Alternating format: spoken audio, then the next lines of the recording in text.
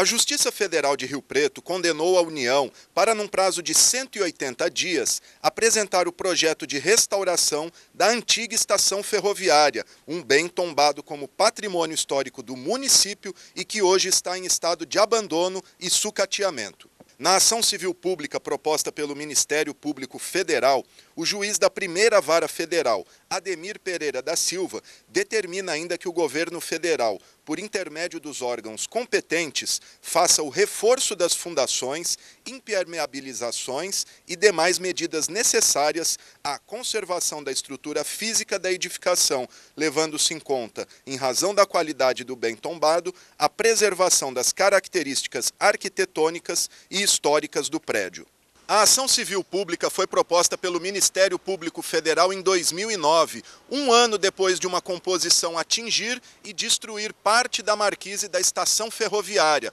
prédio construído em 1929 e responsável pelo desenvolvimento do município. Ainda na sentença, diz o juiz, abre aspas, da leitura dessas informações, verifica-se que a estação ferroviária de São José do Rio Preto está em total abandono, é patente a postura de descaso da proprietária do imóvel, a União e da empresa concessionária, o que causou a deterioração de um patrimônio público cuja importância histórica e cultural para o município é indiscutível, escreveu o magistrado. Apesar dos 180 dias estipulados para a apresentação do projeto, o juiz não deu um prazo para início das obras de restauração.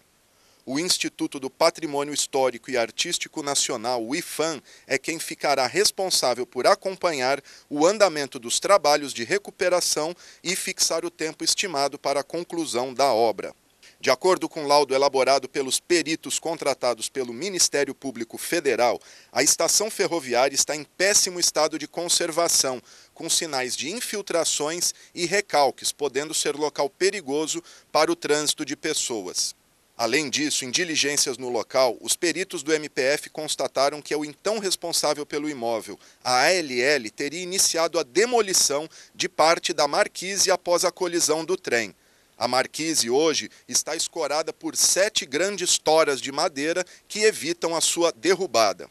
Na ação, o MPF pedia ainda que, além da União, o município de Rio Preto e a ALL ficassem responsáveis pela recuperação do imóvel, o que não foi aceito pelo juiz.